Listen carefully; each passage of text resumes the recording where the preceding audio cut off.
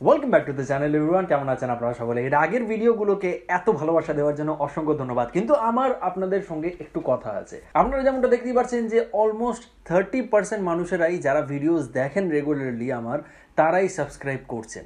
Seventy percent মানুষেরা subscribe করেন না। তো আমি তাদেরকে বলতে চাই যে সাবস্ক্রাইব করতে দেখুন, আপনার কোনো টাকা পয়সা লাগছে না। ফ্রিতে আপনারা সাবস্ক্রাইব করেন।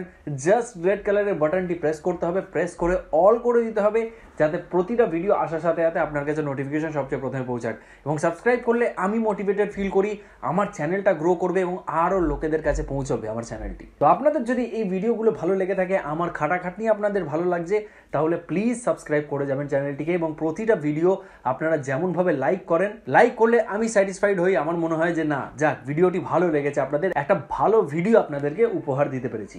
তো আজকের ভিডিওয়ে যেমনটা থামনেল দেখে নিয়েছেন, যে মোস্ট অ্যাওয়েটেড টপিক আমার চ্যানেলে দেউচা পচমির যে কোল ব্লগটি সেই বিষয়ে একটা লেটেস্ট আপডেটেড নিউজ অর বলতে পারি ডিটেলড নিউজ নিয়ে আসুন। তো আমি সেই বিষয়ে কোনো ভিডিও এতদিন আনিনি, কারণ সেই বিষয়ে এত বড় আপডেট আসেনি। এখন যেমন একটা বড় আপডেট এসছে সেই বিষয়। তো আজকের ভিডিওটা পুরো দেখে যাবেন, অনেক কিছু জানতে পারবেন এই ওয়ার্ল্ডস সেকেন্ড লার্জেস্ট কোল ব্লকের বিষয়ে। তো চলুন দেরি না করে শুরু করা যাক। আমি রোহিত আপনাকে স্বাগত জানাচ্ছি এমন একটা চ্যানেলে যেখানে আপনারা জানতে পারবেন পশ্চিমবঙ্গের সমস্ত ডেভেলপমেন্ট আপডেটসের খবর সবচেয়ে প্রথমেই।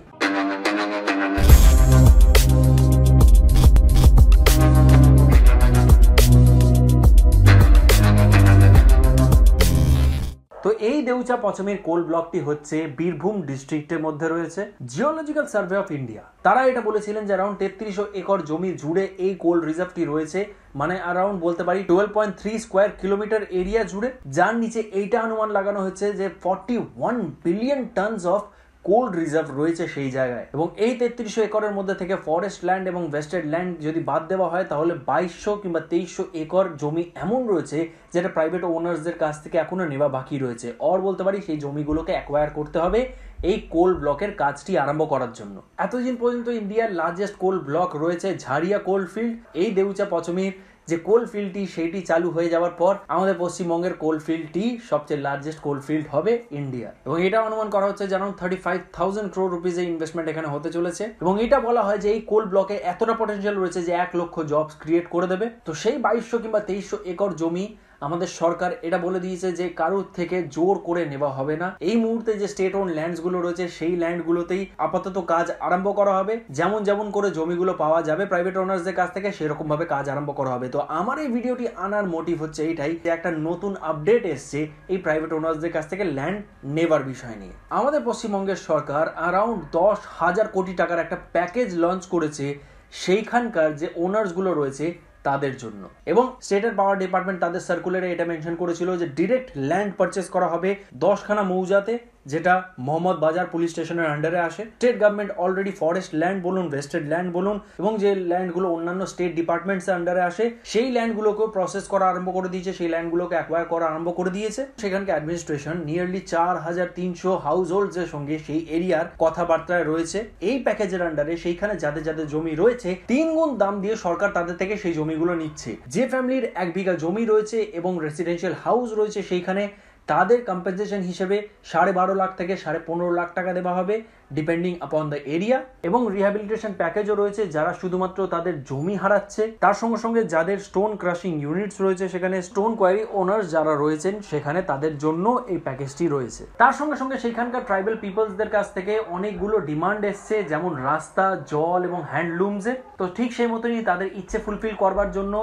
সরকার একশো কোটি টাকার একটা প্যাকেজ তৈরি করেছে, যার মধ্যে তারা কুড়িখানা নতুন রাস্তা তৈরি করবে এবং চারখানা নতুন ওয়াটার প্রজেক্ট করতে চলেছে। সেখানে তারা একটা হ্যান্ড উইভিং ইউনিট তারা তৈরি করতে চলেছে, যাতে ট্রাইবাল পিপলসরা তাদের ট্র্যাডিশনাল ট্রাইবাল ওয়ার্স সেইখান থেকে তৈরি করতে পারে। ঠিক সেই মতনই বীরভূম জেলা পরিষদকে তিরিশ কোটি টাকা অ্যাসাইন করে দেওয়া হয়েছে একুশখানা নতুন রাস্তা তৈরি করবার জন্য। সেই কোল মাইনকে ঘিরে এবং তার মধ্যে থেকে দুটো রাস্তার উপরে অলরেডি কাজ আরম্ভ হয়ে গেছে এবং এনএইচ ফোরটিনের সঙ্গে এই কোল মাইনটির কানেকশনের জন্য চারখানা মেজর রোড সেই এরিয়াতে তৈরি করা হচ্ছে। এবং যে চারখানা ওয়াটার প্রজেক্টে আমি কথা বললাম, সেই চারটে ওয়াটার প্রজেক্ট হচ্ছে দেউচাতে, হাতগাছাতে এবং পুরাতন গ্রামে। এবং এই ওয়াটার প্রজেক্টের আন্ডারেই দ্বারকা নদীর কাছে একটা পাম্প তৈরি করা হচ্ছে, যাতে সেখান থেকে জল পাম্প করে আঠেরো খানা বিভিন্ন ট্রাইবাল হ্যামলেটস পর্যন্ত পৌঁছানো যাক। এই চারটে ওয়াটার প্রজেক্টস এর কস্ট অ্যারাউন্ড পঞ্চাশ কোটি টাকা হতে চলেছে। তো এইটা তো হচ্ছে আপাতত লেটেস্ট আপডেট এই বেউচা পচমি কোল ব্লক নিয়ে। তো আশা করছি সব জমি সেখানকার অ্যাকোয়ার হয়ে যাক এবং এই কোল ব্লকের মাইনিং খুব শীঘ্রই আরম্ভ হয়ে যাক, যাতে আমাদের ওয়েস্ট বেঙ্গলের ইকোনমি আরও একটা বড় বুস্ট পাক। তো আপনার এই ভিডিওটি জেনে ইনফরমেশনগুলো জেনে কেমন লাগল কমেন্ট করবেন কমেন্ট বক্সে আপনারা যদি এর চেয়েও বেশি কিছু জানেন, তাহলে সেটাও কমেন্ট করবেন কমেন্ট বক্সে মোটিভেট করার জন্য লাইকের বাটনটি অবশ্যই প্রেস করে দেবেন। এই চ্যানেলটিতে ভালোবাসা দেওয়ার জন্য এবং এই রকম ভিডিও রেগুলার দেখার জন্য কি করতে হবে? সাবস্ক্রাইব করে যেতে হবে। সাবস্ক্রাইবের বাটনটি দেখুন, নিচে রয়েছে লাল রঙের, সেটা প্রেস করে দিন প্রেস করে অল করে দেবেন। অল করে দিলে আপনার কাছে নোটিফিকেশন সবচেয়ে প্রথমে আসবে, পরের ভিডিও আসার সাথে সাথেই। পরের ভিডিও খুব শীঘ্রই আসতে চলেছে, তো দেখা হচ্ছে আপনাদের সঙ্গে সেই ভিডিওতেই ততক্ষণ ভালো থাকুন, সুস্থ থাকুন, বাড়িতে থাকুন মাস্ক পরে অবশ্যই বেরোবেন। এবং দেখতে থাকুন কি আপনার প্রিয় channel West Bengal with Rohen